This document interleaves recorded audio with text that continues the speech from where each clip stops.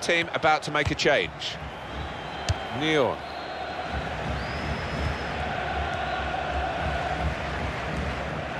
Possession changes feet. Oh, it could be on.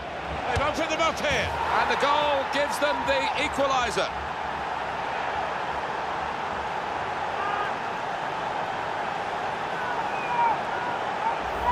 And that's flown past the keeper before really he could react.